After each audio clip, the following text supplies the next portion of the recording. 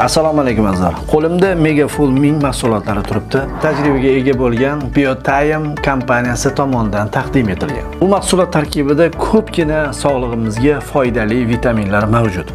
Hamyurtlarimizga ayniqsa sportchilarga tavsiya qilgan bo'lardim. Sportchilarni iste'moli masalasida ikki narsa muhim turadi.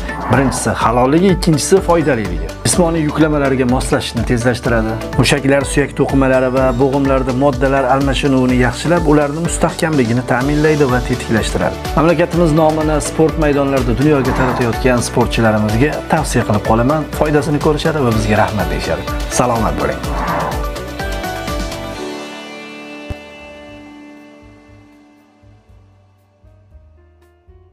Do'ppi kiymay qo'ydi odamlar na uyda va na ko'chada. Mir temirlar g'ofir g'ulomlar kiygan do'ppi qoldi tokchada.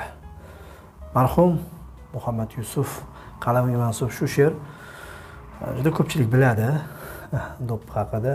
Chust do'ppilar anjon do'ppilar kinolarda qolg'on do'ppilar eh, shunaqa do'ppini kiydirdik va g'alaba qozondik. Assalomu alaykum azizlar. O'zbekiston terma jamoasi haqida bu videomiz o'zbekiston terma jamoasi ishtirok etgan navro'z cup turniri haqida gaplashmasak bo'lmaydi. Bu haqda alohida video tayyorlab bugun bo'ladigan va bo'layotgan o'yinlar haqida keyingi videoyimizda gaplashamiz. Chunki bu muhim. O'zbekiston terma jamoasi e, navro'z cup turniri mana shu e, boshlanganida eshitgan edim. Endi to'rtta jamoa ishtirok etsa bir osonroq bo'ladiyu boshlanish qismiga. Boshlanishiga. Va bunda qo'shnilarimiz qatnashishi ko'zda tutilgan edi. Lekin faqatgina qirg'iziston hamda tojikiston terma jamoasidan javob e, kelgach e, boshqalarga iloj bo'lmadi chog'i va to'rtinchi e, vakil sifatida uganda tanlandi. Endi ugandani qanday tanlanganini bilmayman lekin uganda terma jamoasini o'rganar ekanman. Bu yurt o'sha sharqiy afrikaning sharqiy hamda markaziy afrikaning e, o'rta o'rtamiyona chaqilmas yong'oq hamisha bir e, top terma jamoalarga yaxshigina bosh og'riq bo'ladigan terma jamoasi ekanligini o'rganib chiqdim. E, muntazam qatnashgan saralash bahslarida to'qsoninchi yillardan keyin undan oldingi vaziyat endi afrika tushunasiz. Mustamlaka bo'lgan juda ko'p mamlakatlar va uganda terma jamoasi haligi birinchi eshelondagi terma jamoalar bor ikkinchi eshelondagi terma jamoalar bor. Uchga bo'ladigan bo'lsak uchi zaif o'rtasida turgan terma jamoa. Har doim saralash bahslarida misol uchun ikkita yo'llanmani qo'lga kiritadigan terma jamoalar bilan uchinchi o'rinni oladi. Endi hozirgi holatida o'zbekiston terma jamoasiga judayam mos tushadi deb o'ylayman. Chunki ugandaning Э, afrika kubogidagi eng yaxshi natijasi э, bizning osiyo chempionatimizga to'g'ri keladi. Yetmishinchi yillarda kumush medal sohibi bo'lgan gana terma jamoasiga musobaqa mezboniga yutqazgan. Bizda kumush ham yo'qda. Э, to'rtinchi o'rin eng yaxshi ko'rsatkichimiz. O'zbekiston terma jamoasi doimo sal qoladi deymizu lekin baribir o'sha yo'llanmani qo'lga kiritadigan terma jamoalarning ro'yxatida e'tirof etilmaydi. Xuddi shunaqa uganda xuddi shunaqa. Hozirgi terma jamoasi ham mm, xorijlik murabbiy qo'l ostida o'ynayapti. Bu tomondan ham o'xshash. Va ugandaning mana shu ikki uchrashuvni kuzatar ekanman menga yoqqan jihati hujumkor futbol taklif etishi. O'yinni boshidan oxirigacha hujumkor o'ynaydi. Murabbiy ham mana shunday futbol targ'ibotchisi ekanligini aytib o'tdi. Qirg'iziston terma jamoasi bilan bo'lgan uchrashuv va uganda terma jamoasi bilan bo'lgan uchrashuvni e, bizning murabbiyimiz srechka katanets e, qirg'iziston terma jamoasini kuchli deb e'tirof etmadi balki ugandani kuchli deb aytdi. Chunki uganda baribir hujumkor futbol taklif etdi. Qo'rqmadi avtobus qo'ymadi dedi. Qirg'iziston terma jamoasi tojikistonga imkoniyatni boy berdi. Endi qo'shnilar o'rtasidagi derbi endi oyoq sindirish o'yiniga aylanib ketdi. Penaltidan kiritilgan yagona gol. Bu yerda ikki yurt futbolni taqqoslashga imkoniyat bermadi. Boshqacha futbol bo'ldi.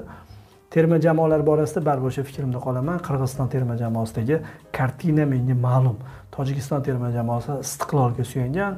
Klublar o'rtasidagi musobaqalarda mm, tojiklar e, nafaqat qirg'izlarga balki bizga ham yetarlicha e, bir saboq berib qo'yishlari mumkin. Lekin terma jamoa masalasi sal boshqacharoq.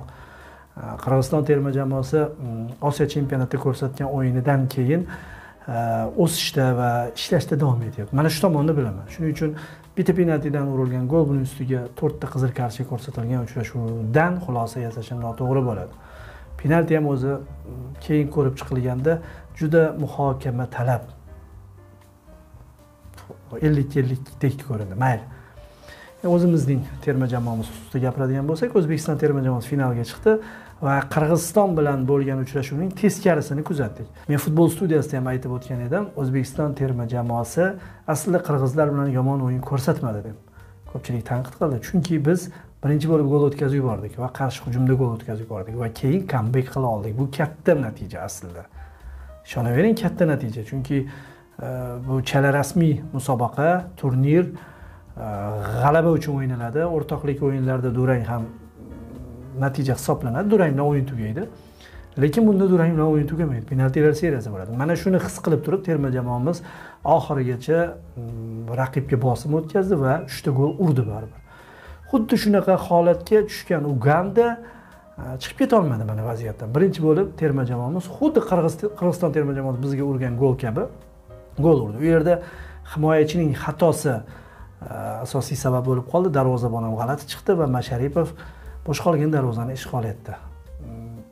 Mana shu ikkinchi gol keyin ikkinchi gol endi kombinatsion hujum evaziga kombinatsion hujumdan avval terma jamoamiz futbolchilari mm, yaxshi pressing qilishdi. Shu haqida gapirmoqchi edim bugun ko'proq. Raqibning pressingi va o'zbekiston terma jamoasining pressingi. Ikki terma jamoa ham e, bosh murabbiyi aynan pressingga to'xtalib o'tyapti. Mashg'ulotlarda ham bu haqida ko'p gaplar bor. Zamonaviy futbol majbur qilyapti majbur qilyapti. Mana misol uchun manchester yunaytedda e, pressing ilmini u qadar bilmaydigan sulsher baribir ketdi va o'rniga rangnik keldi. Mayli hali ishlari muvaffaqiyatsizdir hali o'xshamayotgandir lekin baribir kelajak uchun e, majbur bo'lishyaptida. Butun dunyoda hozir e, raqib tomonidan himoyalanish an'anasi urfga chiqqan. O'zbekiston terma jamoasida ham bu boshlandi. Bir marta malayziya terma jamoasi bilan o'yinda buni muvaffaqiyatli ko'rinishini kuzatgandik keyin iordaniya bilan o'xshamay qoldi. Iordaniya gol urib qo'ydi. Markaziy himoyachilarimizning xatosi hisobiga.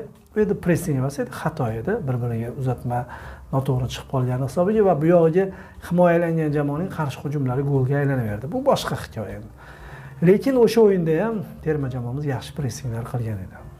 Bu safar menga o'sha ikkinchi goldagi har bir futbolchimizning individual harakati yoqdi hujum xuddi birinchi gol kabi oldinda harakat qilayotgan eldor shomurodovga to'p uzatishdan boshlandi himoyachilar qaytarishdi va bizning chap qanotimizdagi futbolchilar u yerda masharipov bor edi u yerda nasrullayev bor edi va keyin omonov qolib ketdi va otabek shukurov bor edi adashmasam.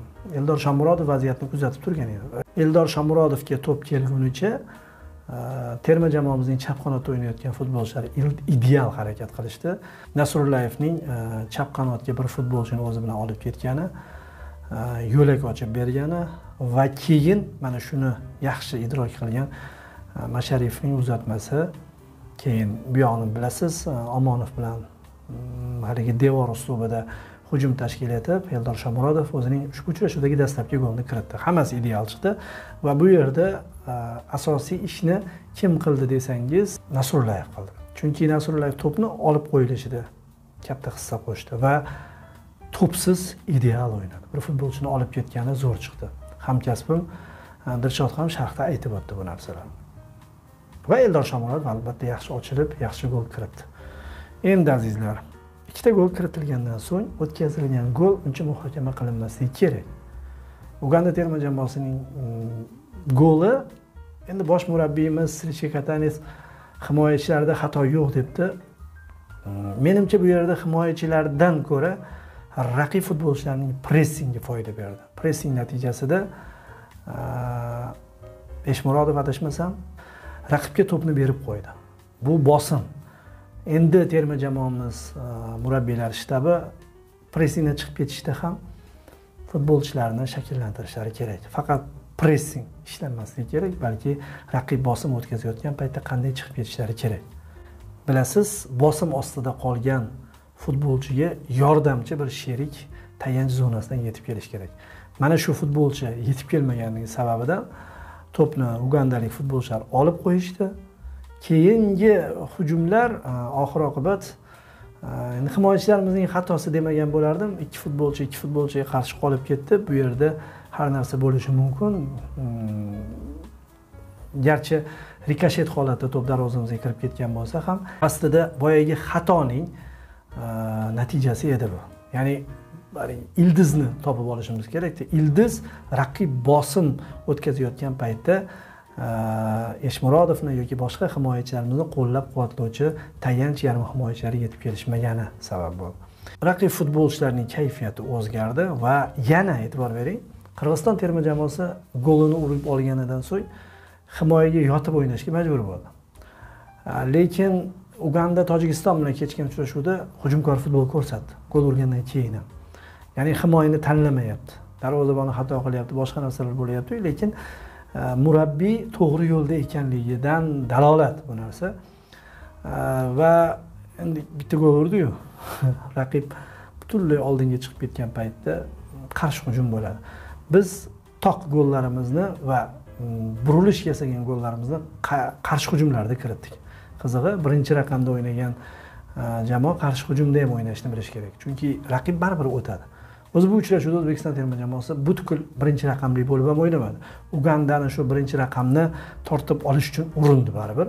Balkim mm, hisob quvlagani ham sabab bo'lishi mumkindir lekin men murabbiyning gaplaridan kelib chiqib va srechekatanisning gaplaridan kelib chiqib uganda terma jamoasining hujumkorligiga e, tan berdim. Ya'ni yaxshi yaxshi. Bu biz uchun ham yaxshi bo'ldi. Qarshi hujum eldor shomurodovning benefisiga aylanib ketdi. U hujumni boshladi va mm, yana o'sha devor uslubidagi bitta harakat bilan mm, maurinoga salom yo'lladi. Joze men tirikman degan ma'noda. Keyin esa endi bo'ldi. Raqib butunlay oldinga o'tib ketadi. To'rtinchi gol meni ajablantirmadi. To'rtinchi gol eldor shomurodovning goli bo'ldi. Gap so'z bo'lishi mumkin emas. U uzoqdan urdi.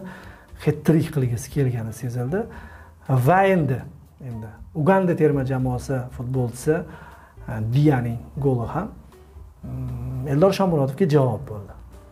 Har holda e, bitta gol chiroyli eldor shomurodovning goli uzoqdan kiritgan goli va bugungi uganda terma jamoasidan ham javob. Xuddi shunaqa kombinatsion golga uganda terma jamoasi futbolchilari tomonidan ham kombinatsion pressing aralash gol bilan javob berdi. Ya'ni bu uchrashuvda oltita gol kiritilgan bo'lsa ham mana shu to'rtta golni alohida ajratib olgan bo'lardim. Qolgani esa hisob quvlovchi maqomidagi jamoaning holati e, hisobda oldinda borayotgan jamoaning holati bilan izohlanadi. Har bir uchrashuvning o'z hikoyasi bor. Terma jamoamiz e, sovrin qo'lga kiritdi. Xursandchilik albatta juda qattiq xursand bo'lishdi. Mm, endi ba'zilar aytishi mumkin endi. Nariyoqda livanu vyetnamu uchinchi bosqichda o'ynab yurgan paytda bizning terma jamoamiz ugandani qirg'izistonni mag'lub etib xursand bo'lib yuribdi deb. Men endi bo'lar ish bo'ldiyu. Bo'lar ish bo'lgandan keyin nima qilish kerak deyilsa mana shunaqa turnirlar qilish kerak deyman. Chexiya terma jamoasi musobaqadan chiqib ketdi. Keyin uels terma jamoasi chiqib ketdi. Э, ular bir birlari bilan o'ynashlari mumkin edi. Oldingi bosqichda g'alaba qozonishganda lekin darhol kelishib olib mana o'rtoqlik uchrashuvi o'tkazishyapti. Men videoni yozayotgan paytimda ularning o'rtoqlik o'yini borligini ko'rdim. Turkiya bilan italiya ham. Misol uchun turkiya terma jamoasi qanaqa ahvolga tushib qoldi? Yilmaz e, faoliyatini yakunlab yubordi. Anavi golni urolmagandan keyin. E, Italiyani gapirmay qo'ya qolay. Lekin ular bo'ldi deb turib futbol bilan haligi xayrlashib ketishmayaptiyu. Uch kundan keyin to'rt kundan keyin o'rtoqlik uchrashuviga e, kelishyapti shunga jur'at qilishyapti kuch topa olishyapti nima uchun bizning terma jamoamiz? Mana shunday turnirlarni o'tkazmasligi kerak. Yomon emas buning ustiga namanganda o'tkazildi muxlislar qo'llab quvvatlashdi va e, uganda terma jamoasi bosh murabbiyi muxlislarga e'tibor qaratdi. O'zbekiston terma jamoasi futbolchilari bu g'alabalarda muxlislarga minnatdorchilik bildirishlari kerak dedi.